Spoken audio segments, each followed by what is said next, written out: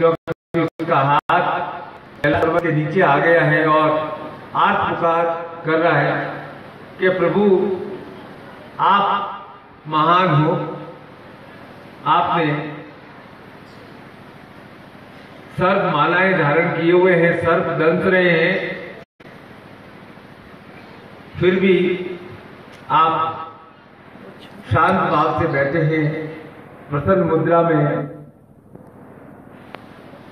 पार्वती के कटाक्ष को देख देख करके मोहित हो रहे हैं। मैं आपका मानस अभिषेक करता हूँ। और आगे रावण कहता है सुधायुग लेखया विराजमान शिखरम माँ कपाली संपदे सिरो जटा नमोस्तम के भगवान शिव अमृत किरणें बरसाने वाला चंद्रमा है, उसे आपने अपने मस्तक पर धारण किया है। वह चंद्रमा जिसे दक्ष ने श्राप दे दिया था, वह चंद्रमा आपकी शरण में आते ही अमृतमय हो गया। इसका साक्षी पूर्णिमा का चंद्र है, जिस रात्रि को कहते हैं, पूर्णिमा की रात्रि को कि चंद्रमा आकाश से अमृत बरसाता है और जो उस चांदनी की रात्रि में चंद्रमा की किरणों का आस्वादन करता है, उसके जीवन में अमृत भाव का उदय होने लगता है। यह प्रकृति की एक महान लीला है। शायद इसीलिए हमारे यहाँ पूर्णिमा के व्रत की परंपरा रखी गई है कि हम उस पूर्णिमा के चंद्रमा का पूजन कर, उस चंद्रमा की किरणों का आस्वादन करें, जो अमृत सुधा बरसाने वाली है। तो रावण कहता है, प्रभु, आप महान हो। आपके आपने चंद्रमा को धारण किया है और चंद्रमा को ऐसा वरदान दे दिया है कि वह सृष्टि में निरंतर और निरंतर अमृत बरसाता है और पूर्णिमा की रात्रि को, वह पूरी सृष्टि को अमृत से आप्लावित करता है। उस चंद्रमा की चंद्रमा मनुष्यो जाता, उस चंद्रमा को परम वंदनीय है। उस चंद्रमा को आपने एक छोटे से उपग्रह को आपने अपने भाल पर धारण कर लिया है और जब भी नाम आता है तो सूर्य और चंद्रमा का नाम आता है। उस चंद्रमा को आपने धारण कर लिया है। आपसे बढ़कर कोई महान नहीं है। मैं आपका अभिषेक करता हूँ, वंदन करता हूँ।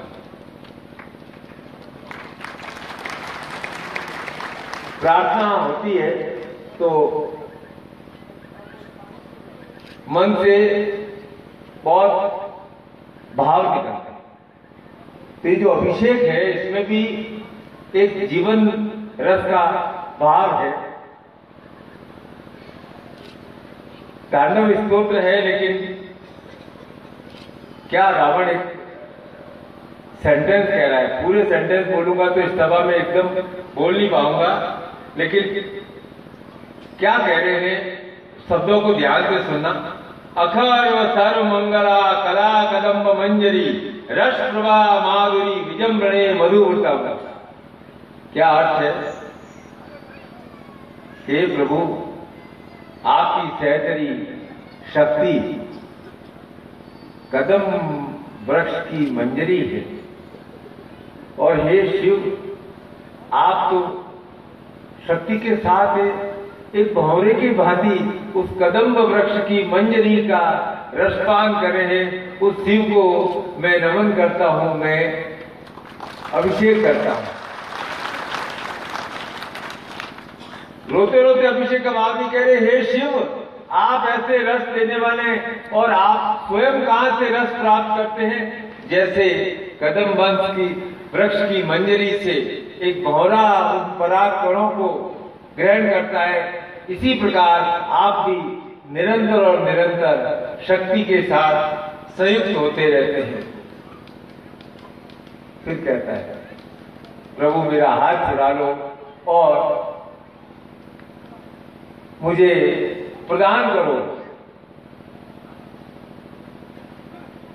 शिवेति मंत्र मुच्चरम सदा सुखी भवाम्यम बोला, हे शिव, हे देवादी देव महादेव, मैं तो केवल इतना जानता हूँ कि जो इस शिव के मंत्र का उच्चारण करता है, वह सदा सुखी भवाभ्याम, वह सदैव और सदैव सुखी रहता है। इसलिए मुझे शिव इस कष्ट से निकालो और मुझे सदा सुखी होने का वरदान प्रदान कर। क्योंकि हमारे मन में एक रावण के मन में भी यही प्रार्थना है, रावण आखिर गया था, कैलाश भगवान की पूजा करने गया क्यों? यही भाव था कि जहाँ शिव आ जाएँगे, वहाँ, जहाँ सदा से स्थापित रहेंगे, वहाँ सदा सुख रहेगा। हम भी, सब प्राणी भी इसीलिए तो कर रहे हैं अप्राप्त लक्ष्मी प्राप्त प्राप्त लक्ष्मी चिरकाल संराक्षण यही तो प्रार्थना का हमारा भाव है के शिव। हम आपका अभिषेक करते हैं। आप हमें सदा शिव हैं आप। हमें वरदान में सदा सुखी, क्योंकि हमें चाहिए सुख। सदा सुखी होने का वरदान प्राप्त और इच्छा क्या है? अप्राप्त लक्ष्मी प्राप्त कोशिश करने पर भी जो प्राप्त नहीं हो सका वह प्राप्त हो। और जो प्राप्त हो गया है वो चिरकाल तक संराक्ष उसकी केयर होती रहे, उसमें से खर्च नहीं हो। जो प्राप्त नहीं हुआ है, वह प्राप्त होता रहे। विद्या प्राप्त नहीं हुई तो वह और प्राप्त होता रहे। धन प्राप्त नहीं हुआ, धन प्राप्त होता रहे। और वह रिज़र्व रहे। ये भगवान, मेरे पास धन रिज़र्व रहे, मेरे पास ज्ञान रिज़र्व रहे, मेरे पास सुख सदा रिज़र्व रहे, क्योंकि आप तो सदा सिंह नित्य हैं।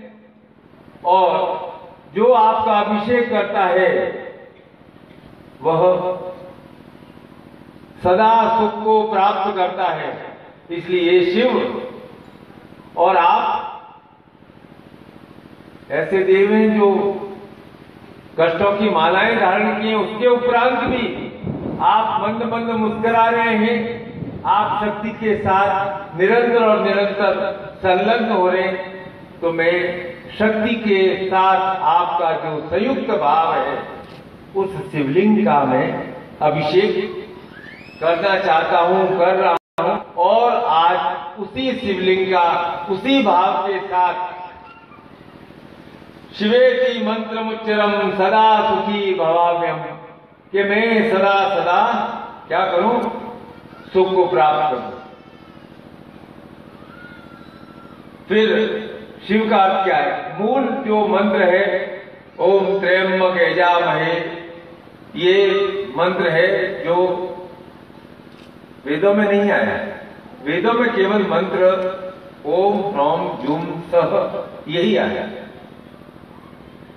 बाद में यह मंत्र ऐड हुआ कि ओम त्रयंबक यजामहे सुगंधिनी पुष्टिवर्धनम उर्वा रूप मीव बंधना मृत्योर्मुक्षीय मामता आपने भी अभी तक अभिषेक किया होगा, यह मंत्र बोलते किया होगा। थोड़ा विवेचन करते हैं इसके बारे में, समझते हैं कि वास्तव में अभिषेक किसका है? किस भाव का है अभिषेक? सुगंधिम पुष्टिवर्धनम होने के भाव के साथ अभिषेक है। और उसके लिए क्या चाहिए? शक्ति चाहिए। शिव का मतलब है सौ प्लस इकार। जब शिव के साथ सब के साथ शक्ति, क्योंकि सब का मतलब है जो समाधि युक्त है, जिसे कोई मतलब नहीं वह सब समान है। लेकिन जैसे ही शक्ति जुड़ जाती है, वह शिव बन जाता है। तो जैसे ही शक्ति का मिलन होता है, ध्वनि आती है, नमः शिवाय नमः शिवाय, शिवो अहम शिवो अहम शिवो अहम शिव, मैं शिव हूँ, मैं शिव हूँ। उसके पहले शव और शक्ति अलग अलग लेकिन जैसे ही संयुक्त रूप होता है मिलन होता है, तब वह शिव बन जाता है। तब वह त्रयम्बकेजा महे सुगंधिनी पुष्टि वर्धनम उर्मारु बंदनाथ मृत्योर्मुक्षीय मामता। वह अमृत प्रदान करने वाला हो जाता है, क्योंकि यहाँ शिव है और यहाँ शक्ति है। मूलाधार में शक्ति है। शक्ति का काम प्रोडक्शन करना है और वह शक्ति, हमारी शक्ति, किस प्रकार के कार्यों को, क्या हम प्रोडक्ट प्रदान कर रहे हैं, हम क्या बना रहे हैं। हम धन बनाने की क्रिया करते हैं। हम संतान बनाने की क्रिया करते हैं। हम शरीर को स्वस्थ रखने की क्रिया करते हैं। ये सारी क्रियाएँ हमारी निरंतर और निरंतर हम करते रहते हैं। और शक्ति हमें मिलती कहाँ से? है भोजन से, जल से। थोड़ा और समझदार हो जाओगे तो कहेंगे कि ये विटामिन की गोलियाँ ले ली, ए, बी, सी और डी विटामिन ले लिया ये ले लिया। विटामिन ट्वेल्व ले लिया, ये गोली ले ली, इस गोली के अंदर ये ये मिनरल्स हैं, ये गोली में ऐसा है। आपने कुछ दवाइयाँ ले ली। लेकिन क्या वास्तव में केवल भोजन से या केवल कुछ गोलियों से शक्ति का प्रभाव हो सकता है क्या? आपको थोड़ी प्राप्त तो हो जाएगी शक्ति। लेकिन वास्तव में शक्ति कब प्राप्त होती है? तीसरा शक्ति का सबसे बड़ा स्रोत है, जहाँ शक्ति ऊपर की ओर होती है। भोजन से और गोलियों से जो शक्ति मिलती है, वह तो आपके संसार के कार्यों में खर्च हो जाएगी।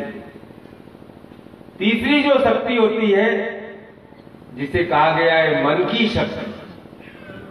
जब मन से शक्ति का प्रवाह होने लगता है भोजन आवश्यक है, जल आवश्यक है, लेकिन तीसरा मुख्य है कि उस मन में आनंद का प्रवाह आए।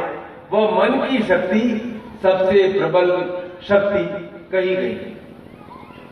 जब वह मन की शक्ति जागृत होती है तो वह ऊपर की ओर होती है। वही शक्ति आनंद भाव बन सकती है।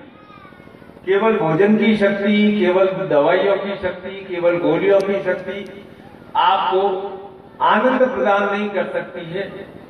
थोड़ी आपको ऊर्जा ज़रूर दे देगी लेकिन जिसे कहा गया है, आनंद आ गया।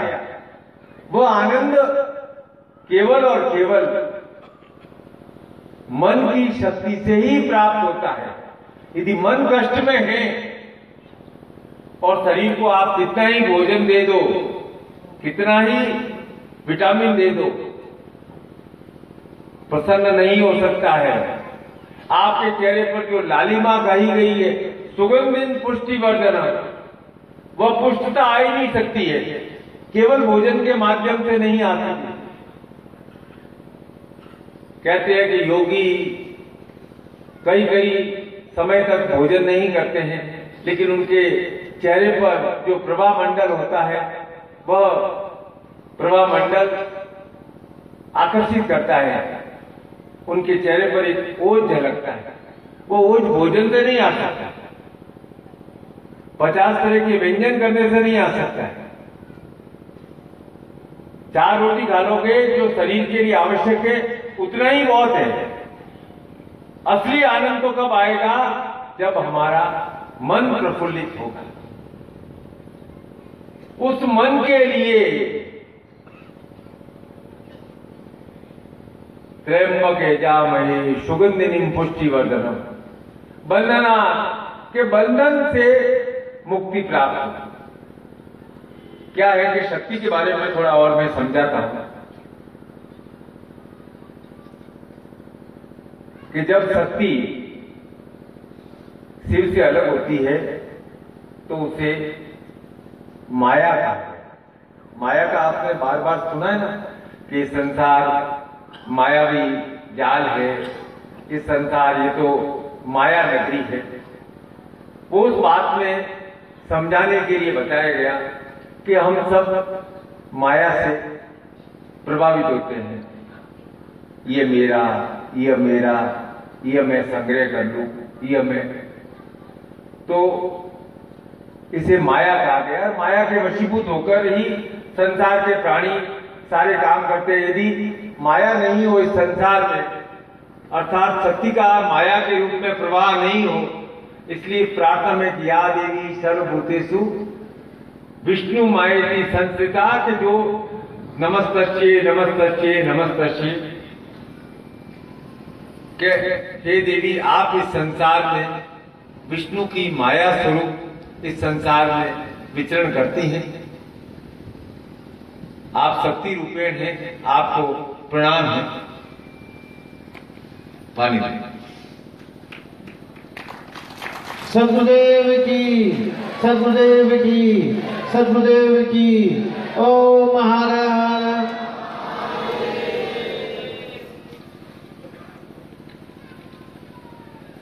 तो मन का कमल खिलाना है? नहीं।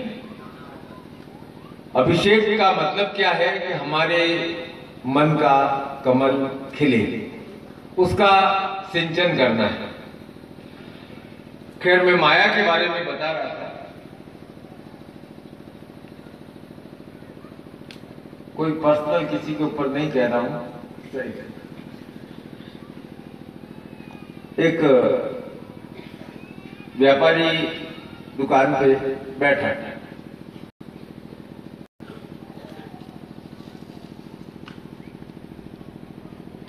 और इतने में कोई एक व्यक्ति दौड़ा दौड़ा आया कि बाबूजी बाबूजी बाबूजी आपके घर में आग लग गई है, जल्दी चलिए बाबूजी दुकान से उठकर दौड़े। जाके देखा घर जल रहा ओहो, हरे हरे करते ज़ोर ज़ोर से रोने लगे।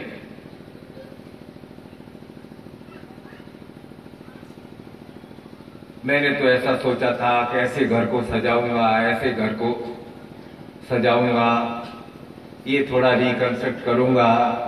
इतने मैंने चीज़ें इकट्ठी की हुई। जितने में एक आदमी आया, बोला के, सेठ जी रो क्यों रहे हो? क्या बात है? अरे कि बोला, मेरा घर चल रहा है रो नहीं तो क्या करूँ? बोले, रोने की कोई बात नहीं है।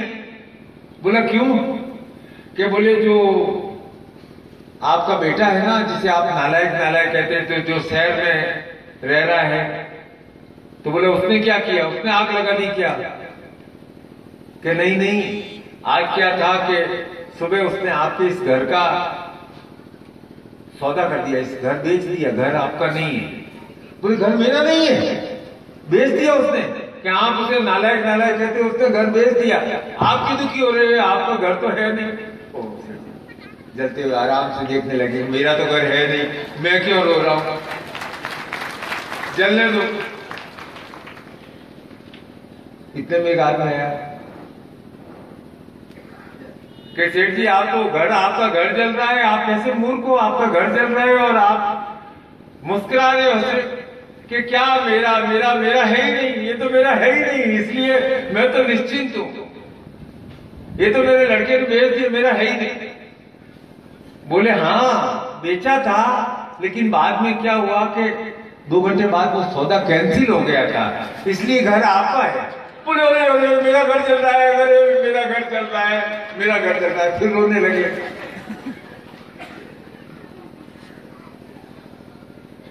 पहले रो रहे थे, फिर हंसने लगे कि मेरा नहीं है, मुस्कुराने लगे, फिर थोड़ी देर हुई, फिर रो रहे थे। जितने कहा कह रहे आप क्यों रो रहे हो कि मेरा घर जल रहा है, क्या करूँ?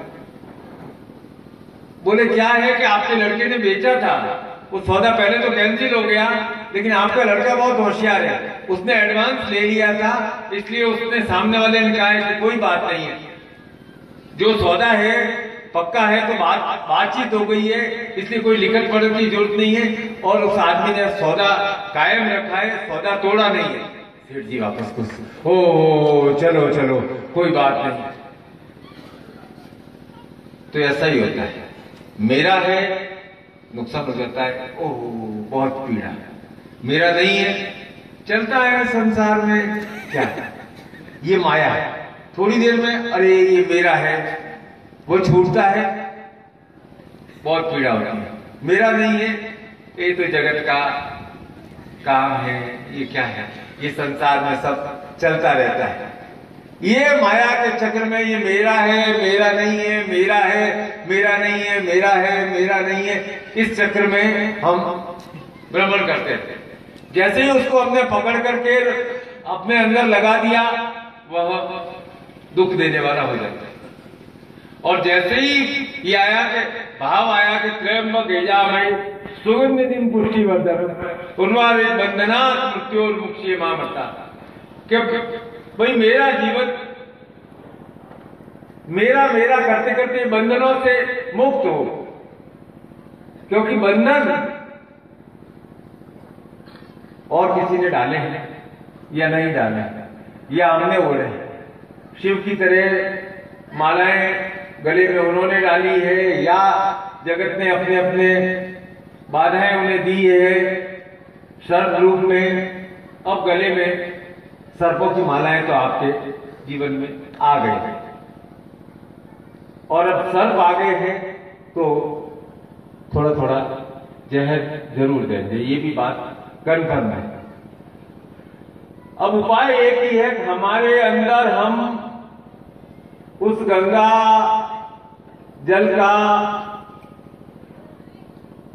सिंचन करते रहे, जिससे हम विश्व की दग्धता से दुखी नहीं हों। हम अपने मन का सिंचन निरंतर निरंतर करते रहे कि मेरे जीवन का लक्ष्य है सुगंधित पुष्टिवर्धन। बंधनात् मृत्यु और मोक्ष, महाप्रताप, में अमृत की ओर यात्रा करूँ। जो गले में बंधन डाले हुए हैं, वे कब हो जाए? कम नहीं हो जाए तो भी मैं अपनी शक्ति से उन्हें उतारने में समर्थ हो सकता बंधन कितने हैं? तीन तरह के तो बंधन हैं। धन से जुड़ी हुई बात, संतान परिवार से जुड़ी हुई बात, और तीसरी स्वास्थ्य से जुड़ी ये तीन बंधन ही है ना। इसके अलावा तो और कोई बंधन नहीं है। जितने बंधन आप गिराओगे, या तो आपकी जो प्रॉब्लम है, धन से रिलेटेड होगी, संतान या परिवार से रिलेटेड होगी, या आपके स्वास्थ्य रिलेटेड होगी। ज़्यादातर समय हम इन तीन प्रकार की चिंताओं से ग्रस्त रहते हैं। जिसके बारे में हमारे शास्त्रों ने कहा है कि पहला सुख निरोगी काया, दूसरा सुख घर में माया। लौकिक व्यवहार की बात है। माया तो जहाँ भी होगी, आनंद भी देती है, माया है तभी तो this is my husband this is my son ये मेरा बेटा है, इसे मैंने जन्म दिया अरे भाई, तेरा बेटा है, तूने ही जन्म दिया है, और कोई दूसरा कैसे जन्म देगा? तेरा बेटा है, ये मेरा बेटा है। ये मेरा बेटा है, ये मेरी बेटी है। ये माया है पर इस माया में ही आनंद आता है। माया नहीं हो तो हम क्यों घर बनाए, क्यों शादियाँ करें, क्यों परिवार में वृद्धि करें? ये थोड़ा माया जाल बना रहता है तो अच्छा लगता है। थोड़ा टेंट लगाया होता है तो अच्छा लगता है, नहीं तो गुरु जी ने कहा, चलो नर्मदा के किनारे ही बैठे रहेंगे तो आप कहेंगे पाँच मिनट के लिए जाकर के आ जाते हैं। क्या करना है? ये माया जाल थोड़ा रहता है तो लगता है कि हम सुरक्षित हैं। तो पहला सुख निरोगी काया, दूजा सुख घर में माया, तीजा सुख कुलवंती नारी, चौथा सुख पुत्र हो आज्ञाकारी।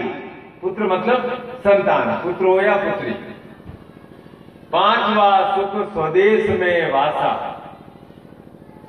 कि जो काम हो, जॉब हो, खुद के देश में हो। मैं देखता हूँ कि कोई कहता है कि अमेरिका जाकर के बहुत ज़्यादा कमा सकते हैं। वहाँ भी मैंने देखा हुआ है कि वही कहते हैं कि जो स्वदेश में सुख है, वह सुख कहीं नहीं है। इसलिए इसे महान सुखों में कहा गया, पहला सुख निरोगी काया, दूजा सुख घर में माया, तीजा सुख कुलवंती नारी, चौथा सुख संतान और आज्ञाकारी, पांचवा सुख स्वदेश में वासा, छठा सुख राज्य में पासा। राज्य में पासा का मतलब जो संसार का क्रम चल रहा है, उसमें हमारा भी कोई भागीदारी हो दस लोगों से जान पहचान हो, दस लोग हमें सम्मान दें, हमारी कीर्ति हो। लोग कहें कि, यस, इसने कुछ किया है। ये राज्य में पासा राज्य का मतलब ये संसार का राज्य, उसमें ये मेरा ऑफिसर जान पहचान का है।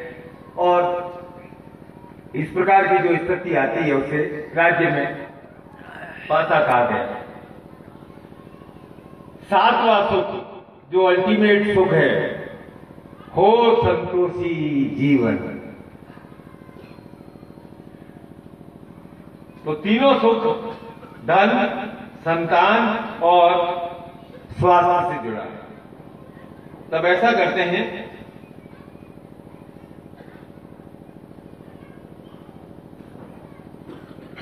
सातवें सुख को जो लास्ट में लोगों ने कहा है, उसको नंबर वन दे देते ठीक है?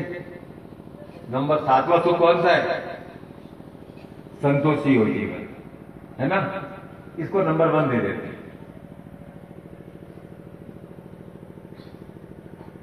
फिर तीन समस्याएँ थी आपकी। धन से जुड़ी हुई, संतान, परिवार से स्वास्थ्य से जुड़ी हुई। सेकंड नंबर किसको दे निरोगी का है। तीसरा सुख किसको दें? घर में माया को दें या धन को? या संतान को दें? तीसरा नंबर किसको दें? संतान को। है? माया चाहिए या संतान का आनंद चाहिए? संतान का आनंद चाहिए। तो तीसरा सुख कर देते हैं। संतान हो आज्ञाकारी अब घर में माया और स्वदेश में वासा, इसमें से किसको पहले प्रायोरिटी दे?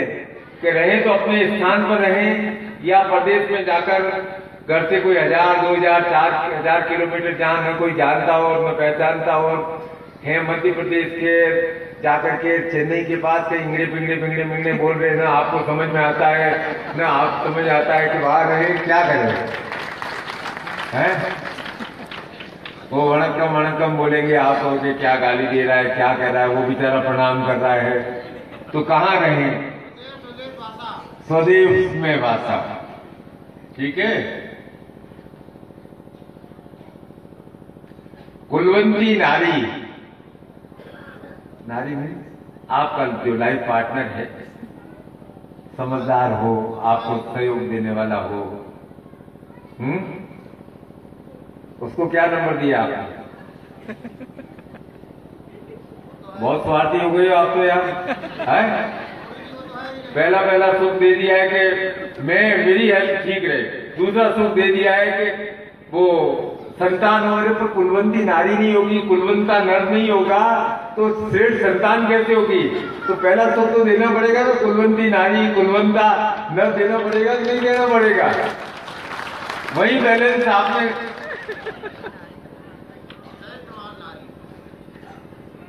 अभी आप अभिषेक कर रहे हो शिवलिंग का जिसमें शिव और शक्ति समन्वित है। शिव शक्ति के ऊपर स्थापित है, लेकिन शक्ति का पूरा पूरा सहयोग है, संयोग है। तो मोस्ट इंपॉर्टेंट थिंग है संतोष के साथ साथ माया तो अपने आप आ जाएगी, माया नहीं आएगी तो अभी हम रूखे सूखे खा करके भी रह लेंगे। लेकिन आपस में जो कहते हैं कॉम्पेटेबिलिटी होनी चाहिए। आखिर कोई ऐसा वन ईयर टू ईयर का तो हमारे यहाँ संबंध होता नहीं है। अठारह साल से अस्सी साल तक एक ही संबंध है, यही संबंध है। तो फिर प्रायोरिटी इस बात को दी जाए कि हमारा पार्टनर बिज़नेस में भी देखते पार्टनर सही होना चाहिए, धोखा देने वाला नहीं होना चाहिए। तो जीवन में भी जैसा शक्ति को पार्टनर मिला, शिव जैसा कि कैसा भी है समाधि में रहता है, लेकिन क्या वो श्लोक बोला था, रावण ने बहुत अच्छा श्लोक बोला था। मनोविरोध, भूत भूति भूत क्या है वो धरा धरेंद्र मंगला कलम गला कदम मंजरी रस प्रवाह माधुरी, विजम्बरे मधुरता कि शिव आप तो ग्रेट हो, महान हो। मैं तो आपको यही उपमा दूँगा कि आप एकदम भौरे हो, जो कदम मग वृक्ष की मंजरी के पराकरणों का रसास्वाद कर रहे हैं। वहीं भौरा वहीं भौरा ऐसा आपको भ्रमण करता हुआ नज़र नहीं आएगा, घूम फिर करके कहीं जाएगा और जहाँ उसे आनंद मिलता है, उसके साथ संयुक्त हो जाता है। तो ऐसे ही जीवन में गृह जीवन में यदि संयोग हो तो अपने आप संतोष आ जाता है, माया भी अपने आप आ जाती है। माँ बाप लड़ते हैं ना तो संतान लड़ना सीखती है। और जहाँ माता पिता में प्रेम होता है, वहाँ संतान अपने आप आज्ञाकारी हो जाती है। फिर कहने की ज़रूरत नहीं बेटा, मैंने तेरे ऊपर इतना खर्चा किया, तू मेरा कहना मानना, तू मेरा कहना मानना। कहने की ज़रूरत नहीं है। तू मेरा बुढ़ापे का सहारा बनना। कहने की आवश्यकता नहीं यदि जिस गृह जीवन में प्रेम होता है, संतोष होता है, वहाँ सारे सुख, माया, निरोगी, काया राज्य में पासा सब अपने आप आ जाता है। अपने आप माया आ जाती है, घर में लक्ष्मी अपने आप आ जाती है। क्योंकि संतोष है। तब अप्राप्त लक्ष्मी प्राप्त्यर्थम प्राप्त लक्ष्मी, चिरकाल शरणाक्षरतम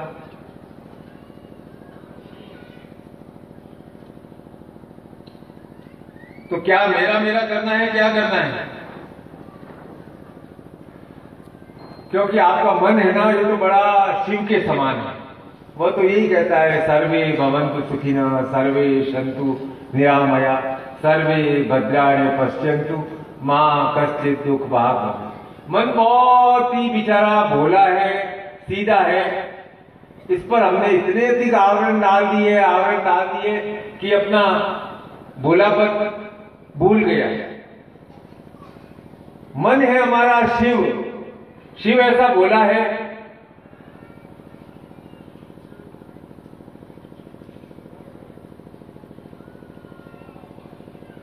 गणपति की कथा जानते हो ना? कि शिव ने मस्तक काट दिया था, पार्वती ने कहते हैं मैल से, अपने मैल से गणेश को बनाया और उनको चौकीदारी करने का शिव आए। और देखा, ये कौन है? शिव को जाने नहीं दिया तो। शिव तो इतना बोला है कि वह एक क्षण के लिए भी शक्ति से विलग नहीं रहना चाहता ये जो हमारा शिवलिंग की प्रतीकात्मक साधना है, पूजा है, कि यह शिव शक्ति से पृथक रह नहीं सकता। उसके मार्ग में कोई भी बाधा आ जाती है तो वह उसे समाप्त कर देता है, सिर धड़ से अलग कर देता है।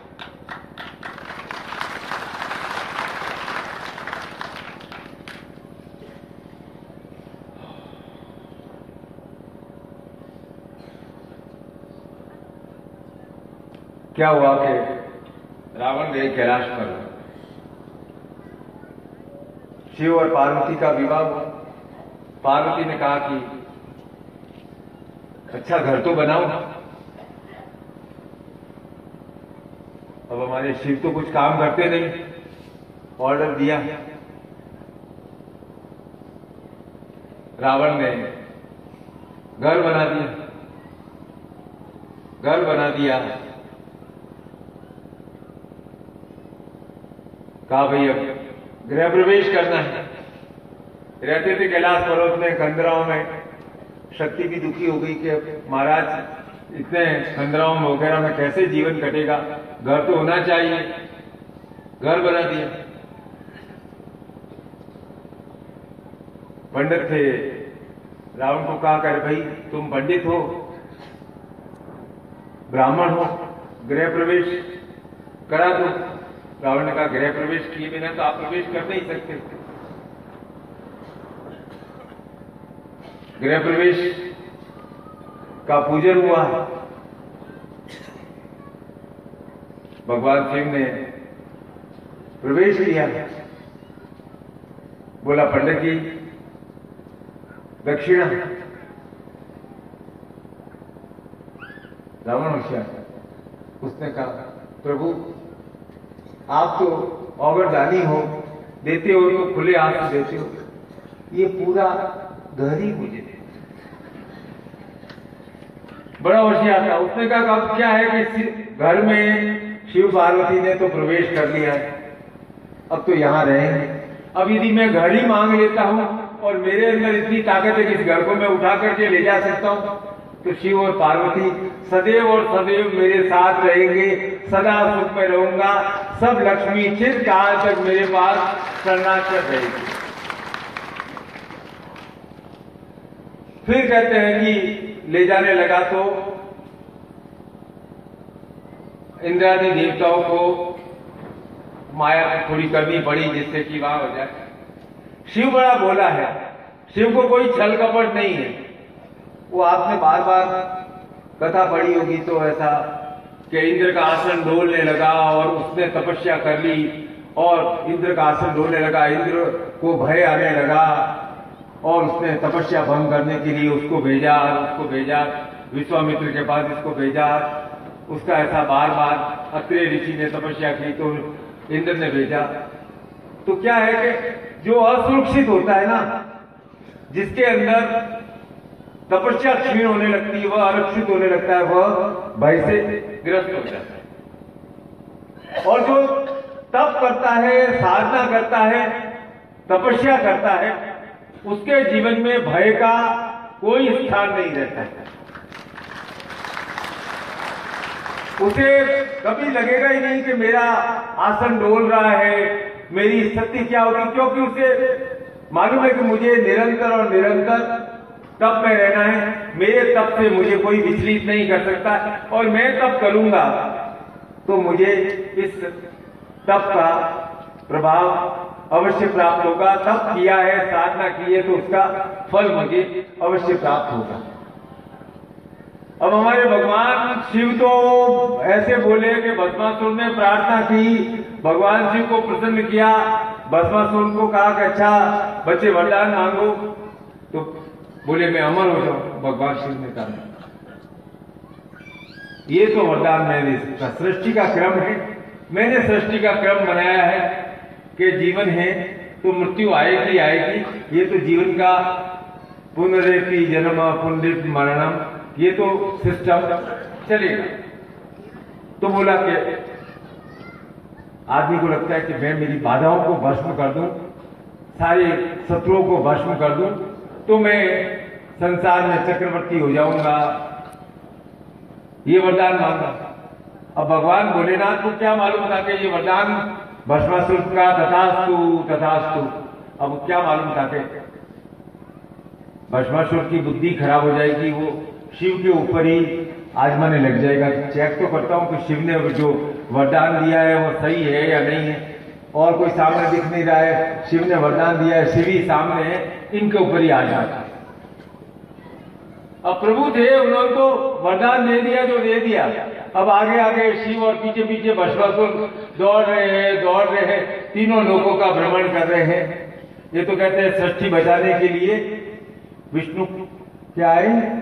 माया स्वरूप माया स्वरूप आए और कहा, अरे उधर क्या चेक करता है? ये शिव का वरदान वगैरह कुछ नहीं होता है। तेरे को विश्वास नहीं था तो खुद चेक करके देख ले। ऐसा कुछ वरदान होता नहीं है। उसको लगा कि, ऐसा कैसे वरदान हो सकता है? कि जहाँ कहूँ भस्म हो जाए, उसे मालूम नहीं था करे वो शिव है, वो सृष्टि के रचिता हैं। उन्होंने जो वरदान दिया है, आशीर्वाद दिया है, वो कभी निष्फल जा ही नहीं सकता है।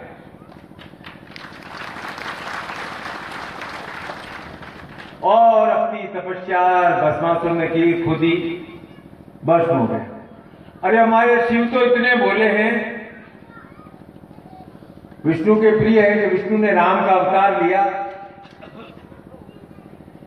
तो बोला कि मैं हनुमान बनकर के राम के पास रहूँगा बोले, आप शिव हो। आप सेवक बनकर के कैसे रहोगे? बोले, मैं प्रेम करता हूँ विष्णु से। प्रेम करता हूँ, आराध्य मानता हूँ, क्योंकि वो जगत का सिस्टम चला रहे हैं। इसलिए मुझे सेवक बनकर के, हनुमान बनकर के जन्म लेने में भी किसी प्रकार का कोई ऐसा विचार नहीं है। मैं हनुमान बन इसलिए हनुमान को रुद्रा अवतार कहा जाता है। कहा जाता है कि नहीं कहा जाता है? एगो रुद्र, द्वितीयो नास्ति।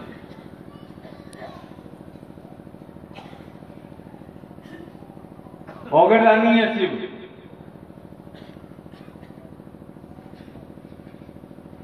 त्रयंबक हेजा महे सुगंधिनी पुष्टि वर्धनम उर्वारुक बंधनात् मृत्योर्मुक्षीय मामता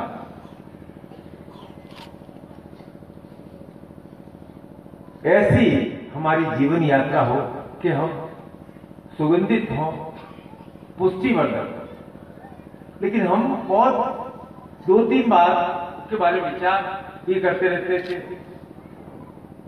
मेरी तो उम्र नहीं रही, मुझसे हो नहीं सकेगा।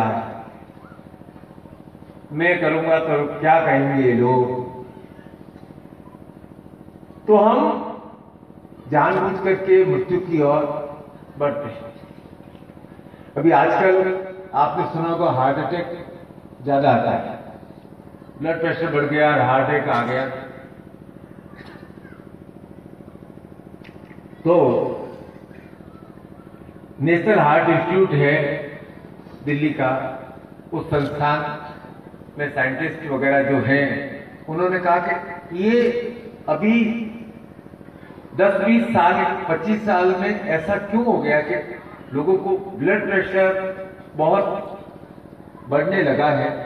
मालूम तो करते कि आखिर इसका कारण क्या है? और फिर उन्होंने डाटा निकाला तो ये निकाला कि सोमवार को सुबह चार से छह के बीच में ज़्यादातर लोगों को हार्ट अटैक आता है। उन्होंने कहा तो बड़ी विचित्र बात हो गई है कि इन लोगों को मंडे को, मॉर्निंग को ही क्यों हार्ट अटैक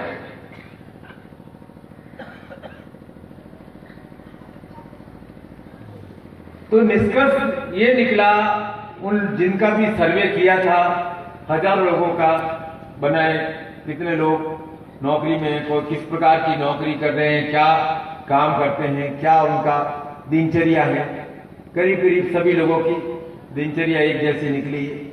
आए, नौकरी गए, खाना खाया, परिवार के साथ उठे बैठे, जो भी करना है। लेकिन क्या होता है कि दो दिन छुट्टी में आते हैं आपके यहाँ सैटरडे, दूसरा चौथा मिलता होगा, बाकी जगह सैटरडे, संडे छुट्टी रहती है। सैटरडे को वो आदमी घबराना शुरू कि मुझे मंडे को काम पे जाना है, मुझे मंडे को काम पे जाना है, मुझे मंडे को काम पे जाना है। संडे आते आते, संडे होते होते होते होते उसकी वो घबराहट बढ़ती जाती है, बढ़ती जाती है, अंदर ही अंदर अंदर ही अंदर बढ़ती जाती है। और मंडे मॉर्निंग जाना तो सुबह दस बजे है, आठ बजे है, लेकिन वह अंदर विस्फोट हो जाता है। तो ज़्यादातर हार्ट अटैक ये तो एक साइंटिफिक डाटा उन्होंने निकाले, हज़ारों लोगों का स्टडी करके निकाले। उस बीमारी का नाम दिया है मंडे ब्लूज मतलब हम काम से नहीं घबरा रहे हैं। लेकिन अज्ञात का डर लग रहा है। ओ काम नेक्स्ट वीक कैसा निकलेगा? प्रेशर प्रेशर प्रेशर प्रेशर तो हम जो छुट्टी का दिन होता है संडे को भी एंजॉय नहीं करते। होता ही है कि मंडे को आदमी काम पे जाए फ्रेश जाना चाहिए कि चलो, एक वीक बीता संडे को खूब रेस्ट कर लिया, अब छह दिन, पाँच दिन खूब अच्छे से काम करना है। वो मस्ती का भाव समाप्त होता जा रहा है। क्योंकि हम मृत्यु की ओर बढ़ रहे हैं। मोक्ष की ओर नहीं बढ़ रहे हैं। हम चिंताओं के साथ साथ what will happen on Monday क्या होगा? मंडे को क्या होगा? शायद 500 काम मेरे ऊपर आकर के पड़ जाएँगे। ये काम मुझे निपटाने पड़ेंगे काम जो आप करते आ रहे हो, वही करना है। लेकिन एक जो अज्ञात भय आता है, वह भय आपको अंदर ही अंदर आपका प्रेशर इस प्रकार से बढ़ा देता है कि सहन तो बेचारे मन को करना है, उस हार्ट को ही करना है। तो सदगुरु कहते हैं कि इस मन में शिव को स्थापित करो। जो संतोषी है बोला वाला है, जो आएगा, देखा जाएगा, हम शक्ति से युक्त होकर क्रिया करें। यदि इस भाव के साथ आप ये लक्ष्य रखेंगे सुगंधि पुष्टि वर्धन कि ऐसी मेरे अंदर उर्दूपात की क्रिया हो, मेरे अंदर शक्ति का ऐसा संचरण हो कि मैं संतोष के साथ, आनंद के साथ जीवन में रहूँ और सुगंधित हूँ। क्या होता है कि जो मनुष्य के शरीर की जो गंध होती है, वो बहुत प्रभावी होती है। आप अस्पताल में चले जाना, आप खुद वहाँ की गंध में आपको एक अलग वातावरण में आपको लगेगा, क्या है? दवाइयों की जो बास होती है वो अलग तरह की होती है, लेकिन एक मरीज़ की जो बास होती है वो एक अलग तरह की शरीर से अलग तरह की ऐसा निकलती है। और जो स्वस्थ होता है, उसके शरीर से एक अलग प्रकार की गंध निकलती है। तो महामृत्युंजय मंत्र है, वो अभिषेक हम जो करने जा रहे हैं, वह त्र्यंबक यजा महे सुगंधिनी पुष्टि वर्धनम पुष्टता हो। और अभिषेक किससे करते हैं? किन किन से करते हैं? दूध, दही, घी। थोड़ी शक्कर डाल देते हैं। जल तो इसलिए डालते हैं कि वह परिणाम में बढ़ जाए, परिमाण में बढ़ जाए एनफ हो जाए।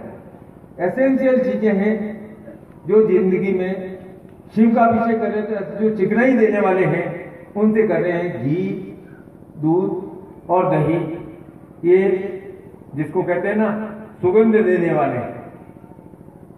उनसे हम शिव का अभिषेक करते हैं।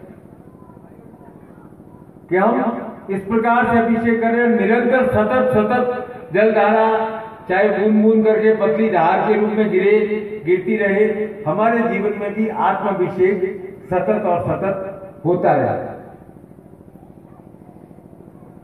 यही अभिषेक की क्रिया, यही शक्तिपात की क्रिया हम संपन्न करेंगे सायकाल में, लेकिन उसके पहले मैं एक बात और बताना चाहता हूँ कि आप मिस्टेक कहाँ हो रही है? बता दो? हैं? पहले पानी पीता हूँ बहुत परेशान हो गया। सदगुरुदेव की सदगुरुदेव की सदगुरुदेव की। ओम हर हर।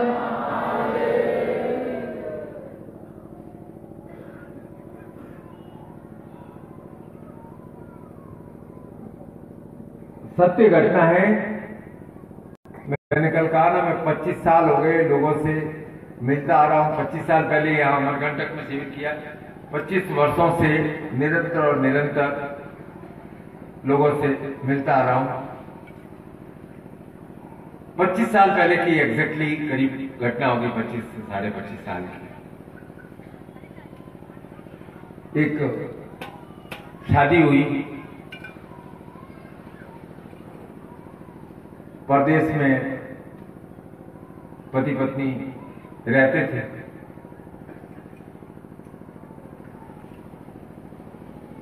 अब जैसा कि रिवाज होता है कि लड़के की माँ थोड़े दिन के लिए रहने गई, सास गई। दस, पंद्रह, बीस दिन रही। बोला, बेटी, तुम बहुत समझदार हो। बहुत अच्छे से घर संभाल रही हो। मैं तो बहुत खुश हूँ। पर पता नहीं क्यों,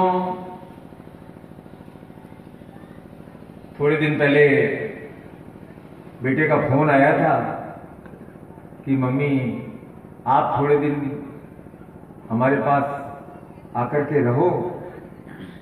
आपकी बहू है जो बहुत अच्छी है, लेकिन थोड़ा फिजूल खर्ची कर देती है तो आप थोड़े दिन आकर के रहो, इसको थोड़ा ट्रेनिंग दे दे। अब इतना ही। कहा कि बेटे ने पता नहीं क्यों ऐसा बोला, बेटा, तू तो घर को अच्छे से संभाल रही है, सब तुमको पहले देखा है। महीने भर से मैं रह रही हूँ, तू तो कोई बिजुल खर्ची लेकिन पता नहीं बेटे के मन में क्या आया जो किस हिसाब से कह दिया था। चलो, कोई बात नहीं। छोड़ो बेटे ने ऐसे ही कह दिया होगा बस, ये विष का बीज बो दिया। पत्नी नाराज़, पति से।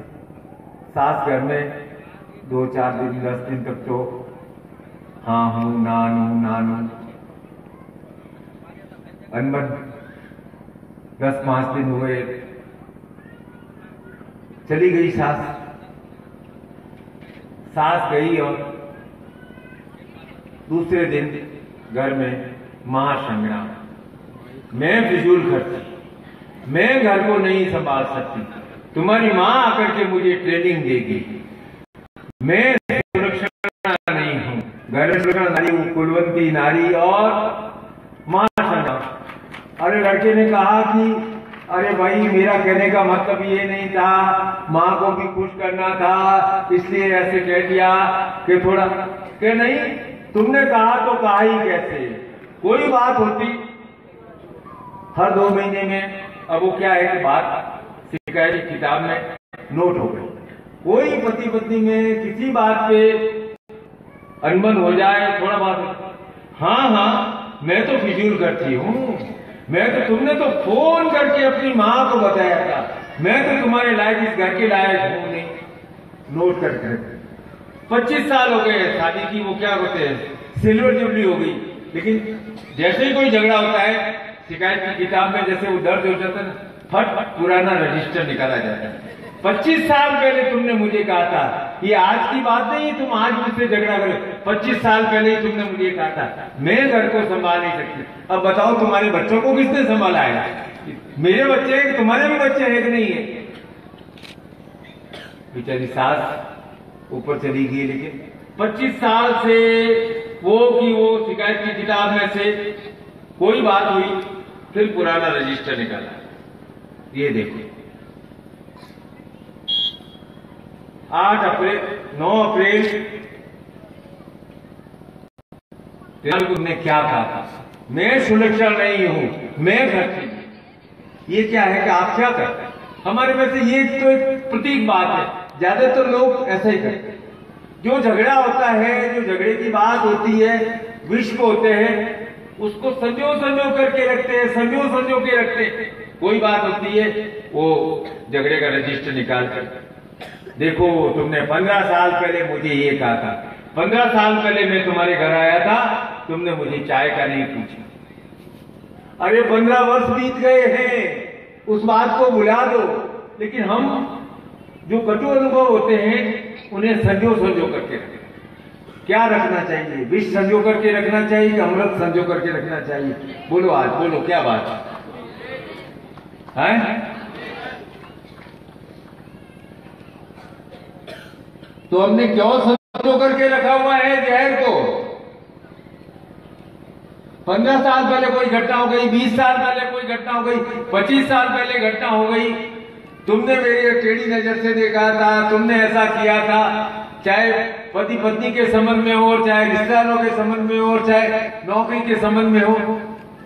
हमारा जीवन तो सुगंधिनी पुष्टि वर्धनम उर्वराक बंधनात् जो बंधन है one by one one by one one by one हटाते जाने तब हमें मुक्ति का आनंद मिल सकेगा। बंधन आते भी रहेंगे। ये जो अभिषेक है, यही उस आनंद की यात्रा के लिए अभिषेक है कि हमारे जीवन में रसधार निरंतर और निरंतर प्रवाहित होती रहे और जीवन का जहर समाप्त होता रहे। इसीलिए हम दूध, दही, घी से जो रस प्रदान करने वाले हैं, उन तत्वों से हे शिव आपका अभिषेक करते हे। मन, हे मेरे शिव, मैं अपना आत्म अभिषेक करता हूँ कि जिससे मेरे जीवन की विकास समाप्त हो, मेरे जीवन का विष समाप्त हो। नहीं आएगा आपके जीवन में दूध, दही और घी। आपके जीवन में, अर्थात स्निग्धता नहीं आएगी, आपके जीवन में रसयुक्त नहीं, भाव नहीं आएगा, सूख जाएगा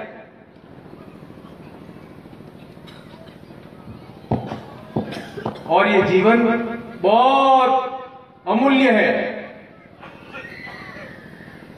इसे तो रसासिक्त ही रखना है। इसका तो निरंतर और निरंतर सिंचन ही करना है। और ये भाव छोड़ दीजिए। कि काश मैंने उस समय वो कर लिया होता। कोई बात नहीं। उस विष को हटा दीजिए। उस महामृत्युंजय भाव को ग्रहण करना है कि हम निरोगी रहे।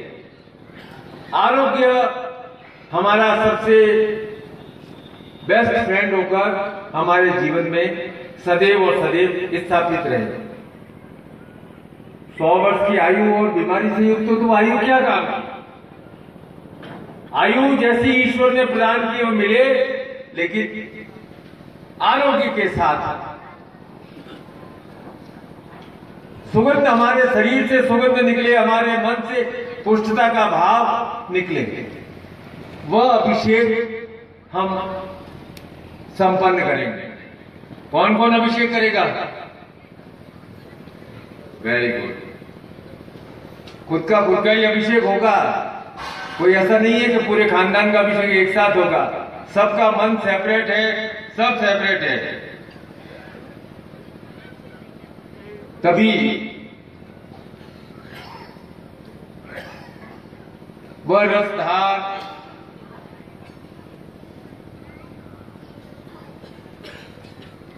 प्राप्त होगी।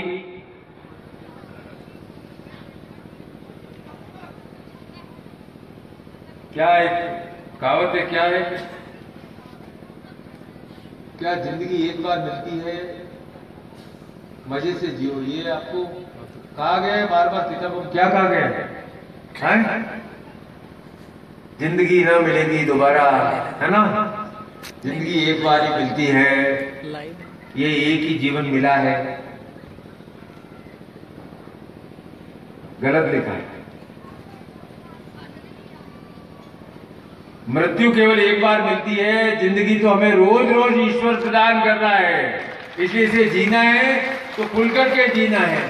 ईश्वर रोज हर सांस के साथ आनंद प्रदान कर रहा है। उस मृत्यु के बारे में विचार नहीं करना है, जो केवल एक बार आएगी।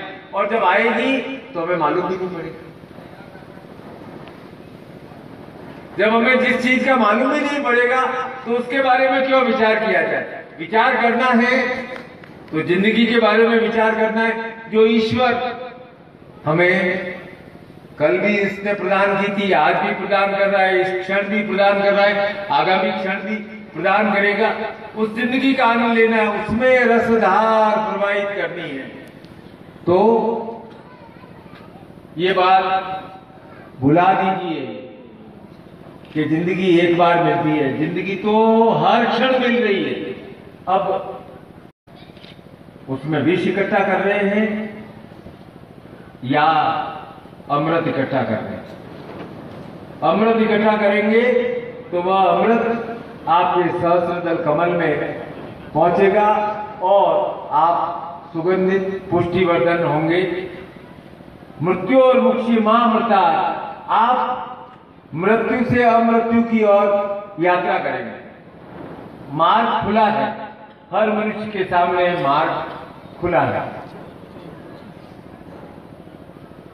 अब सौंप दिया सब बाहर तुम्हारे हाथों में। तो गुरु भी उसका ही भार उठाते हैं, जो स्वयं शक्ति से संपन्न होना चाहता है। मुझे भवसागर से पार उतारो उतारो। अब मैं आपको आज खुल करके पूछता हूँ। गुरु का काम है आपको पार लगाना। चलो, आपने बार बार यही कहा है ना? तो अब आप ये भवसागर को तैर करके पार करना चाहते हैं, या आप चाहते हैं कि गुरु आपको गोद में ले ले और आपको पार कराने, क्या करना है?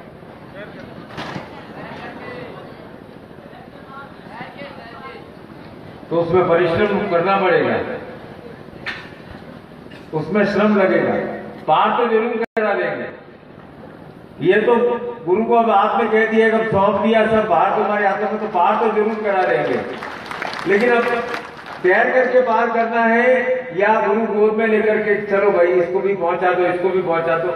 या आपको पल पल जीवन का आनंद लेना है, थोड़ा शर्त रहेंगे। क्या निर्णय लिया है? तैर कर? पक्का? चलो। तो शक्ति के प्रवाह के लिए थोड़ा परिश्रम करना पड़ेगा। घर में पानी की टंकी लगी हुई है तुम्हारे? हैं? लगी हुई है? तो पानी की टंकी में ऊपर से पानी नीचे आता है। और नीचे से यदि पानी ऊपर भेजना होता है तो मोटर लगानी पड़ती है, नहीं? ऊपर से तो अपने आप बह जाता है। तो नीचे से ऊपर भेजने के लिए सीधा सीधा सिद्धांत है कि बहुत कोई हॉर्स पावर एक हॉर्स पावर आधा हॉर्स पावर की मोटर लगानी पड़ती है। तो ज़िंदगी की भी यही कहानी है कि यदि शक्ति को मूलाधार से जहाँ आनंद है सहस्रार में भेजना है तो पूरी ताकत लगानी पड़ेगी, पूरा परिश्रम करना पड़ेगा। तब जाकर के आपके पूरे घर, परिवार, आपके सारे कमरों में जल तभी आएगा, जब आप प्रेशर के साथ आप उसको ऊपर भेजोगे। चलिए thank you thank you thank you thank you thank you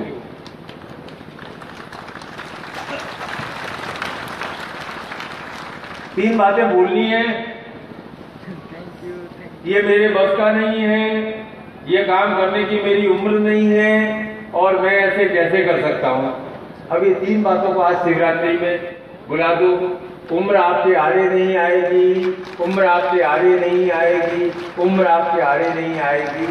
मैं आज आपको महामृत्युंजय दीक्षा प्रदान करूँगा और पहले हम अभिषेक करेंगे, फिर दीक्षा करेंगे। देखो ना, भगवान शिव ने अभिषेक की तैयारी पूरी कर दी। आपको बार बार बार बार आशीर्वाद, खुश रहो खुश रहो।